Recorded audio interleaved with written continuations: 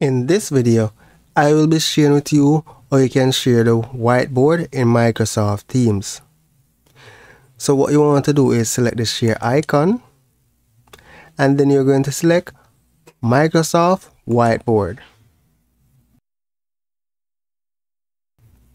So because I'm launching my whiteboard for the first time, it's configuring.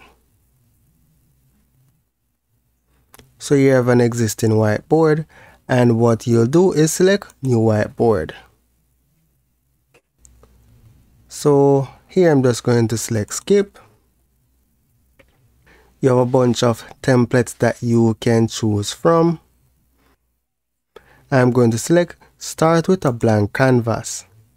At the bottom of the screen, you have the various tools that you can use in your whiteboard. So here I have the wing, the ink. So let's draw a box, whatever it is, a diagram.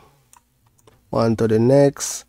You can add reactions, right? So I'm adding that to my whiteboard. Let's add a celebrating icon, right? So that's pretty much it. So you can play around with different features to get more familiar with the whiteboard. So that's it for now guys. Thank you for watching and see you in the next video.